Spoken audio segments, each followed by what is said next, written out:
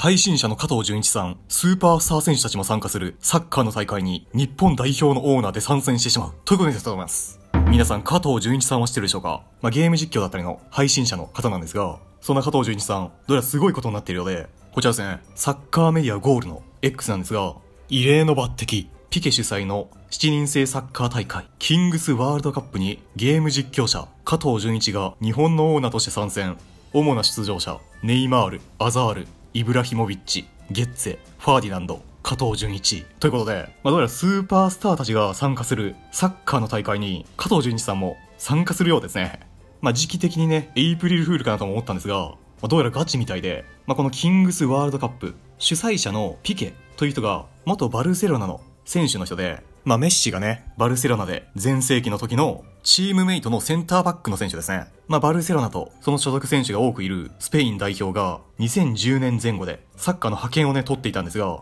その時のレギュラー選手だったんで、まあ、普通に世界最高のセンターバックだったのがピケなんですが、まあ、そんなピケがどうやらサッカーが若い世代にとって魅力を感じないスポーツと思ってるようで、まあ、その理由としては、ピケ自身の子供でさえ、サッカーの観戦中に10分もすれば、スマホやタブレットを使って違うものを見始めてしまう。あらゆるコンテンツがある時代で、もう特に若者には90分のサッカーは無理で、せいぜい30分か40分くらいじゃないか、と思ったそうで、サッカー界にも変化を与えなきゃいけない。ということで、このキングスワールドカップの元となったキングスリーグを2022年に運営を開始し、ルールも独自のルールで、サッカーは11人制なんですが、キングスリーグは7人制。さらに試合時間も20分ハーフ。ピッチもサッカーより狭くて、まあタイパ、タイムパフォーマンスのいいサッカーと言われているみたいですね。まあサッカーよりもコードがね、狭くて、人数も少ないんで、すぐゴール前の展開になって、点も入りやすく、さらに特別なルールとして、ゴールデンカードがあるそうで、まあカードには、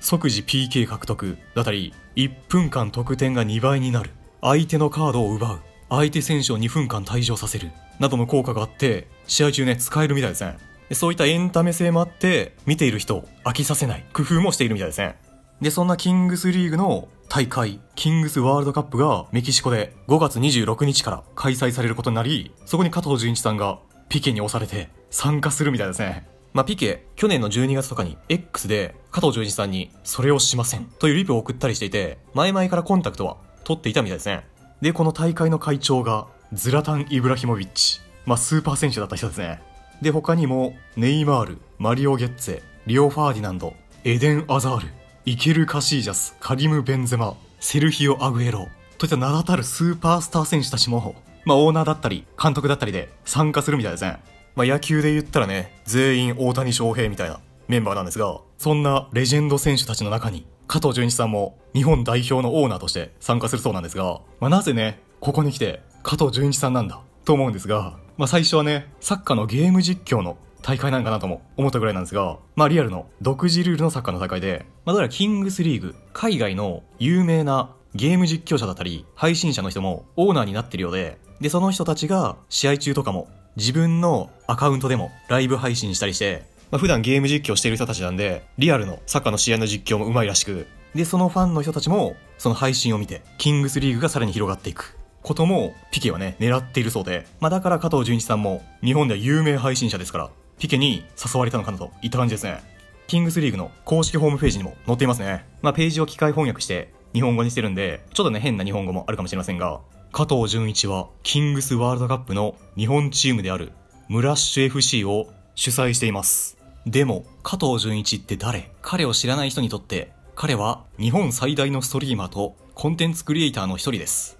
ツイッチで100万人近くのフォロワー、YouTube で120万人の視聴者を蓄積し、2022年にライブで接続された46万人以上の全国記録を達成し、ソーシャルネットワーク X で80万人以上のユーザーを記録しています。まあ、2022年の46万人、結婚配信のことですかね。まあ、こういった紹介も書かれていますね。で、キングスリーグ、ツイッチだったり YouTube でも無料で見れるそうなんですが、YouTube のキングスリーグのチャンネルに加藤純一さんの参戦決定みたいな時の映像もね、ライブ配信あるようで、まあ、どうやらイブラヒモビッチが登場した後に加藤純一さん登場したようで、イブラの後すげえなって思うんですが、まあ、こういった感じでライブ配信でね、質問に答えていましたね。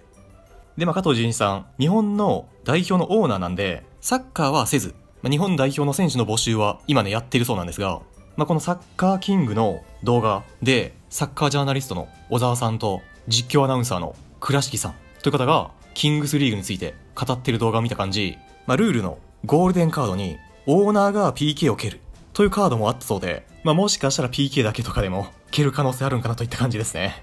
で、加藤純一さん、配信でね、言っていたんですが、サッカーもそこまで詳しくないので、ピケの誘いを断ろうとしたそうなんですが、まあ、断ったら、今回日本からは代わりの人は選ばないと言われたそうで、日本で出てほしいから受けたそうですね。もうこれは普通にありがたいですね。日本の枠もできて、で、このキングスリーグは、スペインで、スペインリーグ、レアル・マドリードだったりバルセロナがあるサッカーリーグを脅かす存在とまでね、言われてるそうで、まあ、元有名選手のカシージャスだったり、ロナウジーニョも参加してね、プレイしたそうなんですが、基本出場してる選手はアマチュアだったりセミプロの人で、そんなプロじゃない人たちの試合で、バルセロナのホームスタジアム、カンプノーに9万人観客を集結させたそうで、プロのサッカーリーグも集客だったりの部分で見習うところがあるみたいですね。もうそんな大会に加藤純一さんのおかげで日本も参加できるということで、もう普通にこれは楽しみですね。試合中配信とかしてくれるんですかねまあ、このピケの誘いを受けたことに、配信ではね、すごい緊張していたんですが、